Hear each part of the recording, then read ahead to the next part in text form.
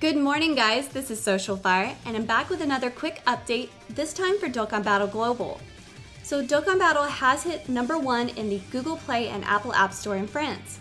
So, that means we will be receiving rewards, and those are as follows We will be getting 30 Dragon Stones, 3 Incredible Hourglasses, and then Intellect Potential Orbs. So, this is 1800 small potential orbs, 1100 medium potential orbs and 100 large potential orbs. So that's about 3,000 potential orbs in total.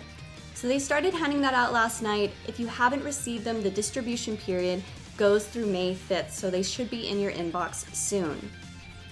Now, lastly, guys, the World Tournament is coming up here. So Bulma's Battle Prep, uh, let me double check here. I believe it starts April 30th. I can just find her link. Yeah, there we go. So April 30th, Bulma's Battle Prep will be open and it will go through May 9th. So this is a great event to pick up some items. Make sure you take advantage of that in preparation for the World Tournament. Or if you're not grinding the World Tournament, it's still a great event again to stock up on items there. The World Tournament itself will be going through May 2nd through May 5th, so that'll be starting this Thursday. So let me know in the comments if you actually plan on grinding that. Personally, I'm going to try myself, so it just depends We'll see what happens there. And then lastly, the World Tournament support packs will be on sale May 2nd through May 5th as well. So that pretty much wraps it up for this update, guys. If you haven't already, be sure to like and subscribe.